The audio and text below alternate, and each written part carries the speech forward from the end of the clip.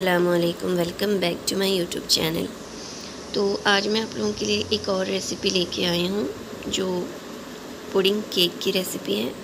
मतलब पुडिंग भी है केक भी है टू इन वन रेसिपी है। तो आइए शुरू करते हैं। यहाँ पे मैंने पैन में टू टेबलस्पून शुगर को कैरेमलाइज कर लिया है। उसको मैंने पानी वगैरह कुछ ऐड नहीं किया, बस सिर्फ़ शुगर को ही कैरेमलाइज़ किया है मैंने। उसको मैं टिन में ट्रांसफ़र कर रही हूँ, जिसमें मुझे बनाना है पुडिंग तो उसको रख देते हैं साइड में ले लेते हैं बॉल। तो उसमें मैं डाल दूँगी थ्री एग्स तीन अंडे। बारी बारी करके मैं तीन अंडे लेने हैं। तीन अंडे मैं इसमें डाल रही हूँ एंड uh, मैं इसमें डाल दूँगी थ्री टेबल स्पून शुगर इसको अच्छे से फेंट लेंगे हम पहले ताकि शुगर एंड एग मिक्स हो जाए अच्छे से। उसके बाद मैं इसमें डाल दूँगी वेनिला एसेंस और इसमें मैं अभी डाल रही हूँ थ्री फोर्थ कप मिल्क ये थ्री फोर्थ कप मिल्क है तो उसको भी हम अच्छे से मिक्स कर लेंगे डालने के बाद। उसको रख देंगे हम साइड में। तो अगेन हम ले लेंगे एक और बॉल इसको हम, इसमें हम केक की प्रिपरेशन करेंगे। तो उसके लिए मैंने यहाँ पे ले लिए दो अंडे। तो इस पर भी मैं डाल दूँगी थोड़ा सा vanilla essence and one fourth cup sugar. उसके बाद मैं इसको अच्छे से बीट कर लूँगी।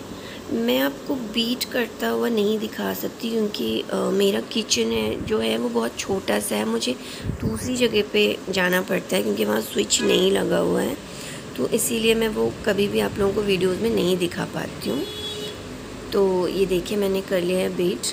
तो इसमें मैं डाल दूँगी टू टीस्पून ऑयल इसको अच्छे से बीट कर लेंगे हम। उसके बाद मैं इसमें डाल रही हूँ मैदा baking powder baking soda and two teaspoon cocoa powder इन सब चीज़ों को मैंने एक साथ मिक्स करके उसके बाद इसमें ऐड कर दिया है और अच्छे से इसको मिक्स कर लिया है मैंने। तो हमेशा मेरी ये कोशिश रहती है कि मैं आप लोगों के लिए कुछ नया करूँ। तो मैंने भी ये जस्ट ये वीडियो जो है देखी थी। तो मैं भी ये फ़र्स्ट टाइम जो है एग पुडिंग की रेसिपी ट्राई कर रही हूँ। पहली बार मैंने इसको बनाया है।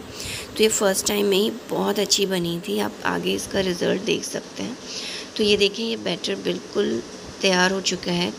केक का बैटर अब हम करते हैं इसका आगे का प्रोसेस तो यहाँ पे ले लिया मैंने टेन अगेन उस पर रख दिया मैंने छलनी और इसको अच्छे से जो पुडिंग का बैटर बनाया था ना, उसको अच्छे से फेंट के एक बार और उसको हमें छान लेना है टिन में, उसी टिन में जिसमें हमें पुडिंग सेट करनी तो उसको छानने के बाद ऊपर से जो हमें इसका बैटर डाल देना है केक का बैटर तो आप बिल्कुल टेंशन ना लें कि ये पकेगा कि नहीं पकेगा, आप आगे आगे इसका रिज़ल्ट देख सकते हो।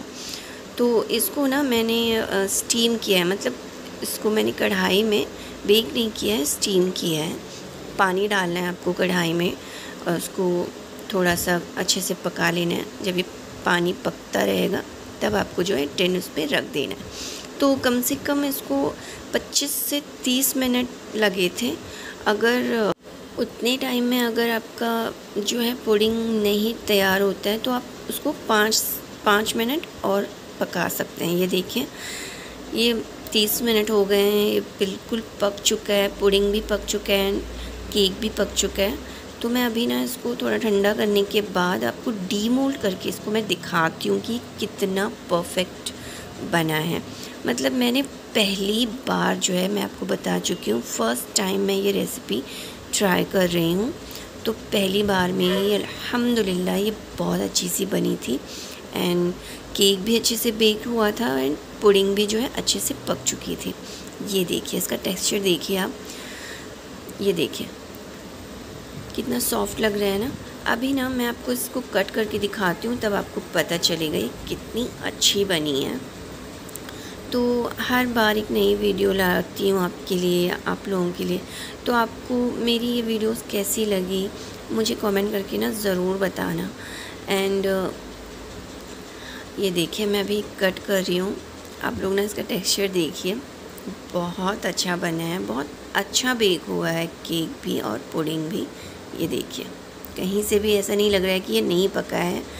ये देखिए तो आप लोग बिल्कुल टेंशन न लें। आप लोग भी ट्राई करें। अल्हम्दुलिल्लाह, आप लोग भी कर सकते हैं। जैसे मैंने खुद पे भरोसा रख के इसको बनाया है, क्योंकि ये बहुत मुश्किल था मेरे लिए ये बनाना, क्योंकि दोनों का टाइमिंग जो है अलग अलग होता है। जब हम बनाते हैं तो केक बेक करते हैं तो तो ये देखिए।